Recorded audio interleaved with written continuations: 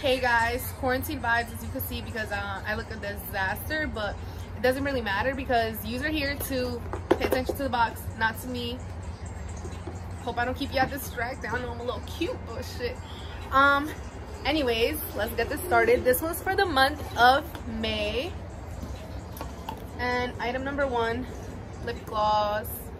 And it's the shade is called strawberry lemonade which i find super cute because i love strawberry lemonade yo comment down below if you love strawberry lemonade.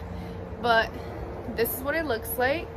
Super cute. I personally don't really like lip glosses with color to them. I like them more on the clear side. Why well, I lied? I like every single one from fenty beauty. I don't know because i feel like they complement me. But most of the time i don't really go with glosses that have color to them like a little tint. Item number two this is the hourglass vanish stick. So excited about this. I already feel whoa million dollar bitch. It's a highlighting stick and this is what it looks like. Super cute.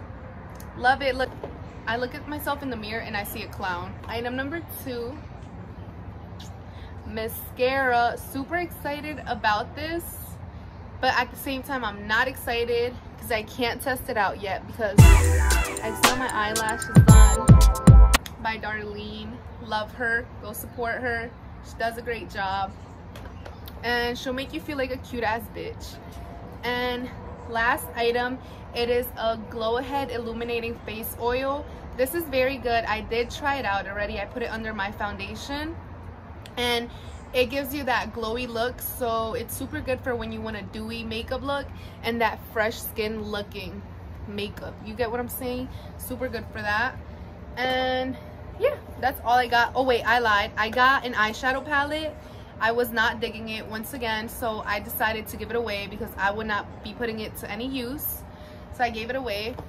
And this is literally everything that i got. So i'm gonna be real honest and i'm gonna rate the box like a 6.5 just because I only like two items out of the whole box I didn't really like anything else.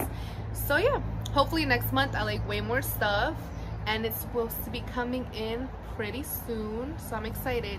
See you guys then. Love you. Thank you so much